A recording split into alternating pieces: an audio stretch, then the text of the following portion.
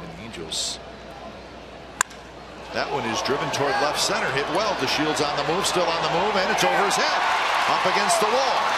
He chases it down. Reddick rounds third. Reddick's going to come in to score. Smolinski with an RBI triple. And we're tied at one.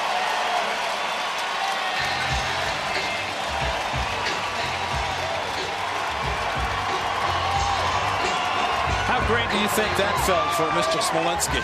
A team that he played for last year hit his first home run against the Athletics and almost hit another one here. But, you know, with the speed of DeShields in center field, he runs well, covers a lot of ground. That's how hard the ball was hit that DeShields could not get to it over his head and hit the top part of the wall. Josh Reddick with only one out had to make sure he did hesitate, but once he saw the ball drop at second base where he was, he took off and not only did he score, but Smolinski got the third infield has to play in.